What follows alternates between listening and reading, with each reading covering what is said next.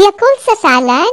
Pag natikman nyo ito, baka ito na palagi niyong ihahanda kung may okasyon. Kakaiba po ang sarap sa salad na may Yakult. Hindi na po tayo naglagay ng evaporated milk pero ang sarap pa rin. Kaya ang laki ng matitipid mo sa recipe natin ito. Ito ang salad na okay na okay sa inyong tiyan.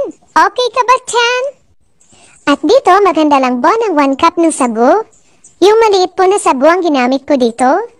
Pakuluan lang po ito hanggang sa maging translucent na po ang ating sago. Napakadali lang po nito maluto kasi maliit lang na sago ang ginamit natin. Ganito po ang sago pag naluto na. Ihalo lang natin ang 1 can ng kremdensada. Ito ang ginamit natin kasi 2 in 1 na siya. Mas makakatipid tayo dito.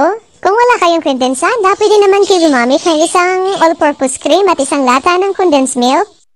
At dito, maglagay lang ng 1 liter of water at isang pack ng yellow gulaman. Unflavored po ang ginamit natin dito. Naka-off po ang stove natin. I-mix-mix muna natin itong mabuti hanggang sa tuluyang matunaw ang ating gulaman. Tsaka natin ito i-on ang stove. I-mix-mix lang natin ito para hindi dumikit sa ilalim. At hintayin na lang natin na malapit ng kumulo. At pwede na natin ito hanguin. At i-transfer lang natin dito sa ating lalagyan. Palamigin lang muna natin ito at mag-set ang ating gulaman. Ayan, malamig na. Pwede na po natin ito ikat. Hahatiin ko lang po ito. Dahil kakayurin ko itong kalahati.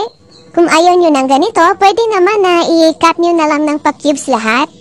Mas maganda kasi tingnan pag may kinayod na gulaman sa ating salad. O ba diba, sa gulaman pa lang, ang sarap-sarap na tingnan o. Ang dami ng version nitong Yakult salad pero doon tayo kung saan tayo mas makakatipid. I-transfer lang natin ang gulaman dito sa ating mixing bowl.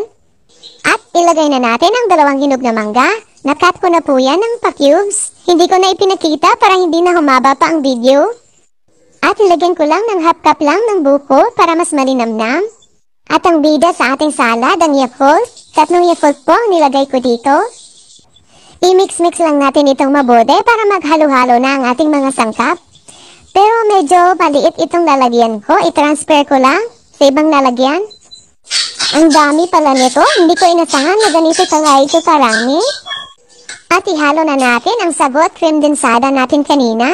Dito sa recipe natin, pampamilya na. Damay pa si kapitbahay. Kung magkagalit kayo, chat na magkakabati kayo dito. Charot! Kaya try nyo na din gumawa nitong Yakult sa salad. Kaya subukan nyo na din gumawa nitong Yakult sa salad. O diba, okay ang chance sa Yakult. Maraming salamat hanggang sa susunod po.